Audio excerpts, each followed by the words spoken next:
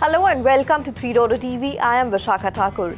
Leading virtual digital assets or VDAs are struggling to make large moves as the analysts suggest they have failed in their attempt to break out of the current logjam.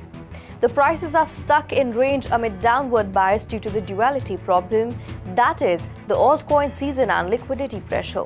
Further, the concerns of US government default weighs on investor sentiment. Against the backdrop, Bitcoin and Ethereum continue to hover around the $27,000 and $1,800 levels, respectively. Bitcoin is currently trading at $27,392.02 with a 24-hour trading range sitting between $26,590.05 and $27,416.89.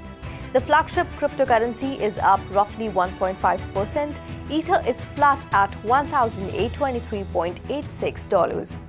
In the recent past, the crypto price action has been relatively subdued despite volatility coming back a bit due to thin liquidity in the market, analysts have pointed out.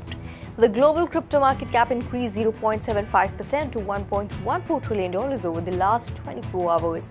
The total crypto market volume during the same period has improved 20.76% to $34.42 billion. The total volume in DeFi is currently $2.39 billion or 6.94% of the total crypto market volume. The volume of all stablecoins is now $31.56 billion, which is 91.70% of the total crypto market volume.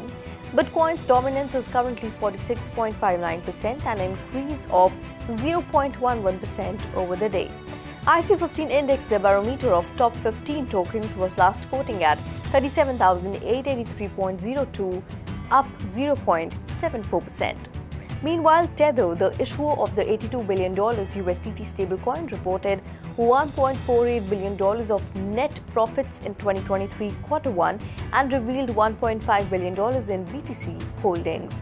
The company has decided to buy Bitcoin for stablecoin reserve using profit. Another stablecoin issuer, Circle, has ditched treasury bills that mature beyond May 31st, rotating assets to cash and overnight repurchase agreements instead.